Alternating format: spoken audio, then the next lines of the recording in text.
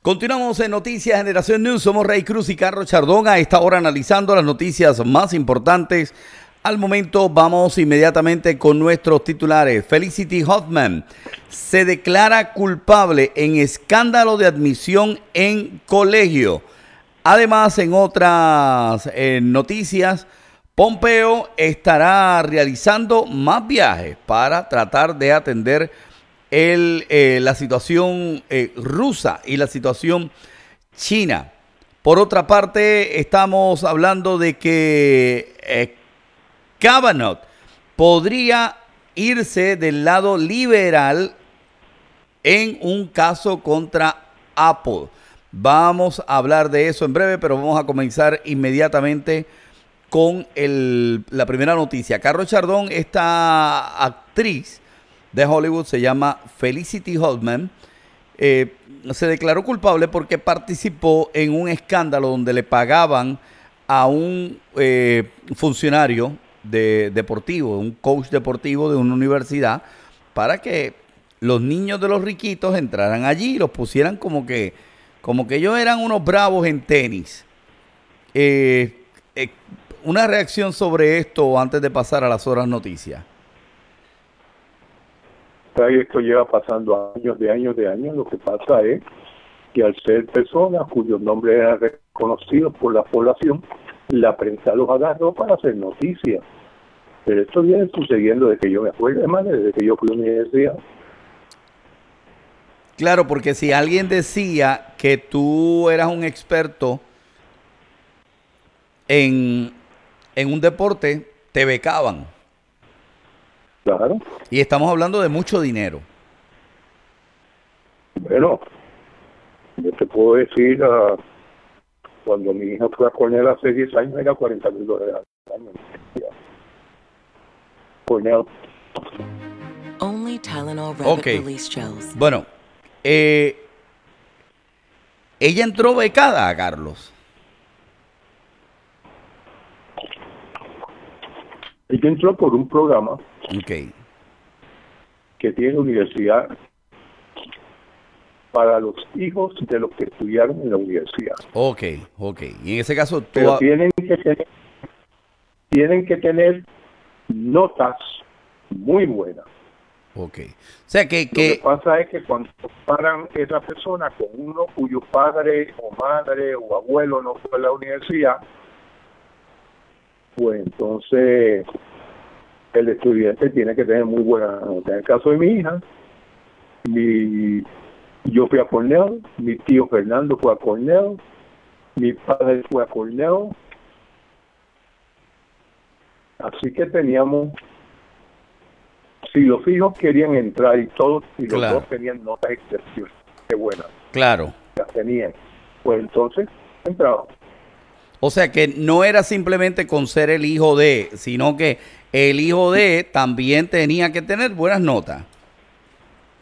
Bueno, en este caso. en este caso, pero en este eh, pero también había quienes simplemente por jugar un deporte lo, te los aceptaban allí. Bueno, se puede decir de un muchacho que yo conozco muy bien, sobrino mío, que entró a la UPR y no tenía el promedio de entrada. Yo no hice ninguna gestión para colarlo y él se la agenció para entrar por su cuenta, porque él cantaba. Así que entró al coro de la universidad.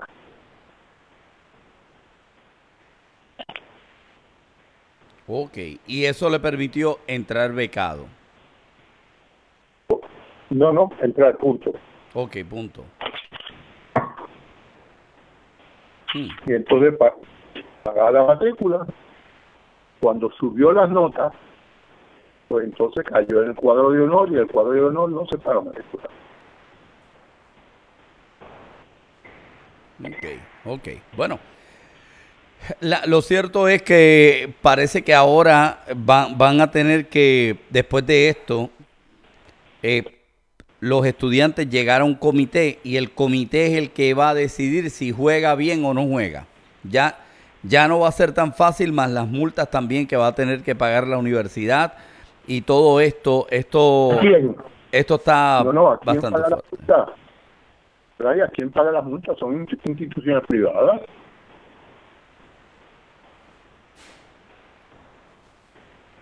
Bueno, pero, pero,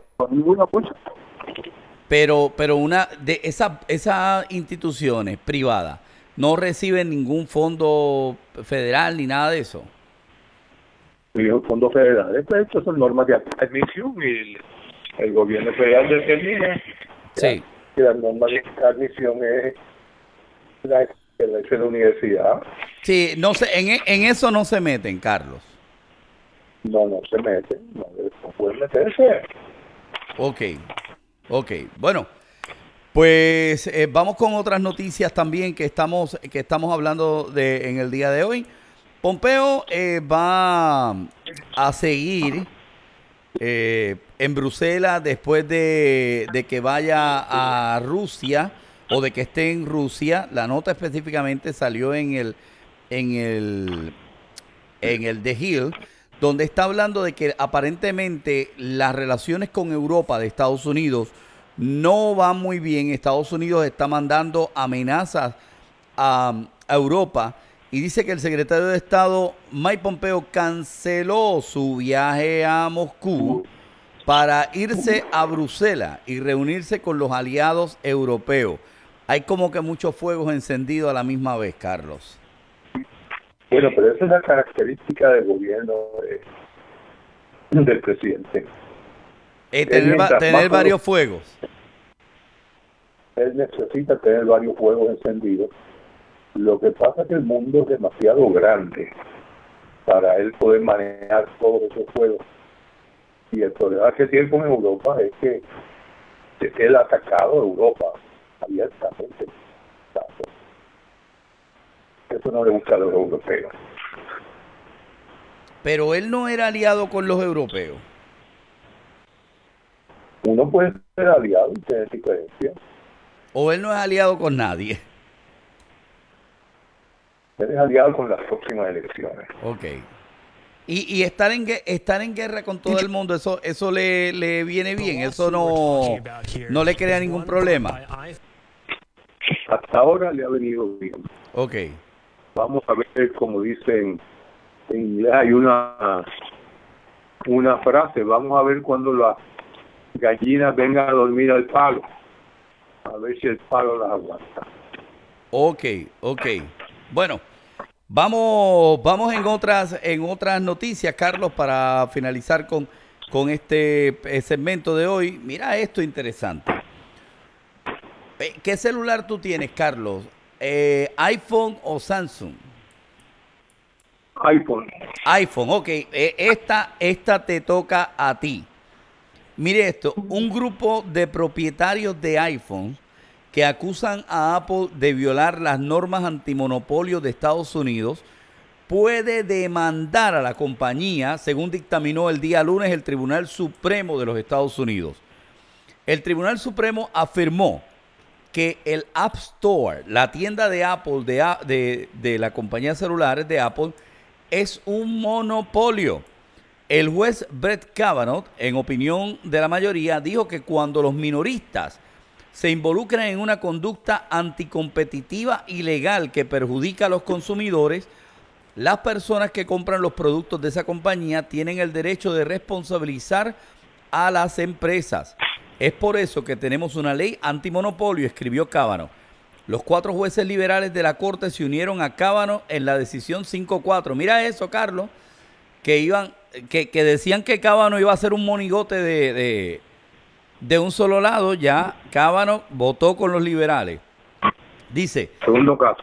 El, el, segundo caso dice, la opinión del Tribunal Supremo en particular no acusa a Apple de violar la ley antimonopolio, sostiene que los consumidores tienen el derecho de demandar a la compañía por comportamiento monopolístico, porque compran aplicaciones directamente de Apple. El fallo podría tener amplias implicaciones para otras compañías tecnológicas que operan fachadas en líneas amuralladas de manera similar. Eh, definitivamente debería hacer que las compañías tecnológicas se pregunten cómo se aplicarán las leyes antimonopolio en el futuro. Voy, voy con, la, con el resumen de la nota. Dice, dice que el caso se deriva de una demanda colectiva del 2011 por parte de los propietarios de iPhone que alegan que al reducir un 30% las ventas de aplicaciones, Apple ha alentado a los desarrolladores de aplicaciones a aumentar sus precios en respuesta. Los consumidores se han visto perjudicados por la práctica, según la demandan, porque Apple no permite que los clientes descarguen aplicaciones de ninguna otra fuente que no sea la tienda de aplicaciones de iTunes. Te pongo un ejemplo ahí, Carlos. Ayer mi hija vio una aplicación que yo tengo en mi celular que compro en la tienda de Google Play. En la tienda de Google Play la aplicación cuesta cero centavos. En la tienda de iPhone, de iPhone, que mi hija tiene un iPhone, cuesta 2.99. La misma aplicación. iPhone obliga a los desarrolladores a poner un precio a las aplicaciones y los clientes de iPhone están demandando a la compañía en este momento por no permitir que tú puedas comprar una aplicación o bajar una aplicación de cualquier otra tienda. Eso es interesantísimo. Bueno, es que mientras se van desarrollando sistemas nuevos de venta para vender productos nuevos, las leyes tienen entonces que ajustarse a estas nuevas condiciones y esto es lo que ha hecho Cábano con su voto. No solamente con su voto, lo más importante es lo que hizo Cábano, es él escribió la decisión. Eso es lo que yo encuentro importantísimo. Y al escribir la, la, decisión, lo que está es mandando el mensaje. Y el mensaje esencial es de que él no, él no, él no va a ser un, un monigote de la empresa privada allí. Bajo ninguna circunstancia, él está siguiendo la, lo que dice, él entiende que dice la ley. Sí, bueno. no monopolística. De hecho, Carlos, hay, hay, por ejemplo, yo he comprado, yo en un momento en mi vida tuve un iPhone y compré música me costaba en aquel tiempo 99 centavos cada canción. Sin mentirte, yo llegué a comprar como entre 500 y 600 canciones. Cuando me mudé, cuando me mudé para Samsung, prácticamente perdí eso porque no puedes mover lo que tienes en la tienda de Apple a otro celular. Entonces, tienes, eh, eh, es un monopolio que tienes, es como que tú compras esto y esto lo utilizas solo en tu sistema operativo y creo que sí, que ya es tiempo de que, de que las compañías velen y que estas personas demanden a Apple porque, porque es así, o sea, Apple lo que está haciendo es diciendo, eso es gratis allá, pero tú no lo puedes conseguir allí, tú lo tienes que comprar. Si esta, si esta demanda prospera, lo que va a obligar a Apple es a que sea una, a que tú puedas comprar en la tienda electrónica que tú quieras. Eso es lo que yo, y como Apple, ah, el iPhone ha tenido una venta, unas ventas descomunales, pues entonces eso es lo que alimentaba a, a la compañía con una posición completamente interna. Así, así mismo es. Bueno, Carlos, eh, interesante las no bueno, ha, estado medio, medio, medio ahí las noticias en el día de hoy, excepto lo de China. vamos a ver, oye, el 23 vamos a saber el resultado de las elecciones de la India. El ¿Sabes cuántas personas fueron a votar? Bueno, me imagino, me imagino con todos los que viven allí, pero ¿cuántos fueron a votar? 650 millones de personas. ¡Wow! ¿Qué, qué número ese? O sea, ¿qué, ¿cuánta cantidad? Y de verdad tienen, tienen eh, suficiente para que todo el mundo pueda votar.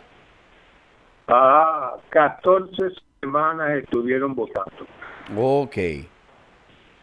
Interesante Pero mira entonces cómo ellos llevan esto. Uno de los artículos que leí me estuvo fascinante porque en uno de los estados de estos de la India más aislados que hay, la Junta Electoral envía un, un individuo con una, una caja para que las personas metan la papeleta, aun cuando sea solamente una persona la que vaya a votar. Mm. Eso es democracia. Sí, o sea Sin que... embargo, Ajá. Eh, ellos, para ellos lo más importante es garantizar que tú puedas votar. Aún así, votó solamente el 63% de los electores. Espérate, esos 600 millones solo son el, el 63%. De los 900. Mira para allá. Que podían votar. Bueno, va, ¿qué, qué, estamos hablando de una que es inconcebible para nosotros acá, ¿sabes? ¿Qué dicen, qué dicen los sondeos de urna? Pues mira, no se sabe. Los sondeos dicen de que va a ganar el partido que está ahora mismo en poder, que un partido de extrema derecha nacionalista. Pero mira el nacionalismo de ese partido, cómo fue que ganó las últimas elecciones. En las últimas elecciones donde este partido ganó, pero por muchísimo, entre las cosas que decían los políticos. Por supuesto, la constitución no lo permite. En la, vamos a afeitarle la barba a todos los moslems hmm. que de acuerdo a la ley ellos no se supone que se afeiten para forzarse a que se hagan hindúes. Sí, en ese sentido le decía, no, se tiene que se tienen que acostumbrar a como es aquí. A como es aquí, lo que pasa es que esa gente lleva 1200 años allí. Sí, sí es, es, difícil. Es, muy difícil tú decirle, mira, tú no eres de aquí. Bueno, nosotros llevamos aquí 1200 años. Los, los, hindúes le dirán, bueno, pero nosotros llegamos aquí 15.000 años. ¿eh? Pero esto es una de las características y es ferozmente, pero ferozmente uh, racista en ese sentido. Claro. Eh, lo que pasa es que los muslims también son racistas en sus países. Claro que sí.